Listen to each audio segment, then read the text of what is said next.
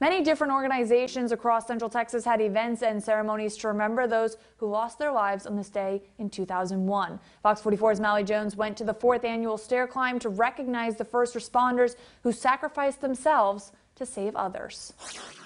On this day, 21 years ago, first responders climbed up over 2,000 steps, and today, people are climbing up Jacob's Ladder to get a small glimpse of what that was like.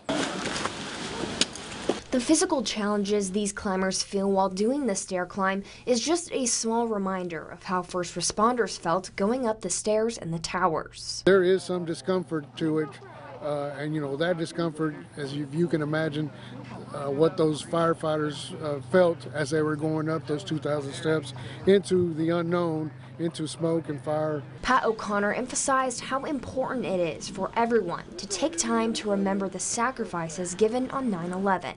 I think that we should honor the people who have given for us and those who are first responders throughout their lives give. Some of them give their whole life. Our veterans have given us a country that we can live in and have the freedoms that we have, and we need to honor both of them, and that's why I come out here.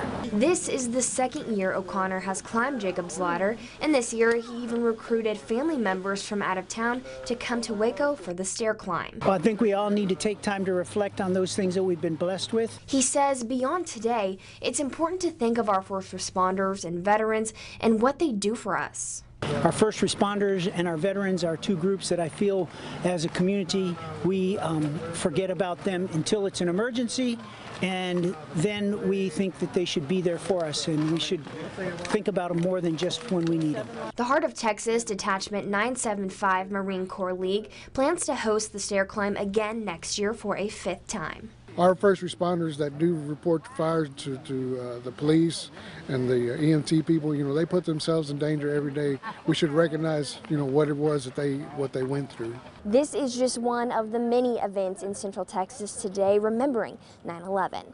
In Waco, Molly Jones, Fox 44 News.